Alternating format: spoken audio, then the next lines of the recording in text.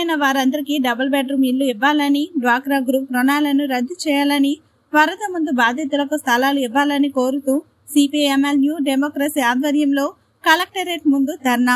CPIML new democracy ప్రగతిశీల మహిళా సంఘం పీఓడబ్ల్యూ భద్రాద్రి కొత్తగూడెం జిల్లా కమిటీల ఆధ్వర్యంలో ఈ రోజు కలెక్టర్ ఆఫీస్ ముందు ధర్నా నిర్వహించి జాయింట్ కలెక్టర్ వెంకటేశ్వర్లకి వినతి పత్రం సమర్పించడం జరిగింది. ఈ కార్యక్రమంలో CPIML New Democracy Bhadrachalam division కార్యదర్శి గౌని నాగేశ్వరరావు గుండాల జడ్పీటీసీ రామక్క సర్పంచులు మోకాల కృష్ణ సరోజిని కృష్ణవేణి చింత రజిత సఫర్ శ్రీను నాయకులు బండ్ల వెంకటేశ్వర్లు వైఎస్ రెడ్డి కొడుకు నరసింహరావు ఆర్ లక్ష్మి ముంతాజ్ తదితరులు పాల్గొన్నారు.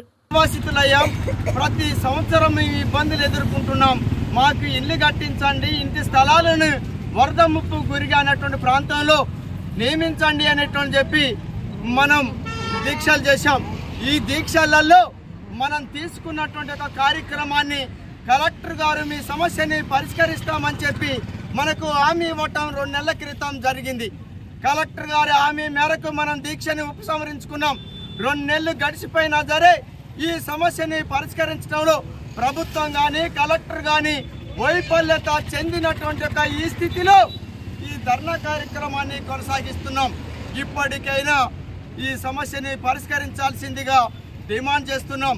అలాగే రెండో అంశం డ్వాక్రా గ్రూపులు స్వయం సహాయక సంఘాలు ఏవైతే ఉన్నాయో ఈ సంఘాలకి వడ్డీ లేనటువంటి రుణాల్ని మంజూరు చేస్తానని చెప్పి గత ఎన్నికలలో కేసీఆర్ ప్రభుత్వం ప్రకటన చేయటం అనేటువంటిది జరిగింది. ఆ ప్రకటనకి అనుగుణంగా వడ్డీ లేనటువంటి రుణాలు ఇవ్వనటువంటి స్థితి ఏర్పడ్డది. ఆ తర్వాత మన దగ్గర అభయస్థం పేరుతోటి దాదాపుగా రాష్ట్రంలో ఐదు వందల కోట్ల రూపాయల్ని వసూలు చేశాడు. ఆ నిధుల్ని ఈ రోజు వరకు మనకు చెల్లించాల్సినవి కూడా చెల్లించినటువంటి ఒక పరిస్థితి ఏర్పడ్డది.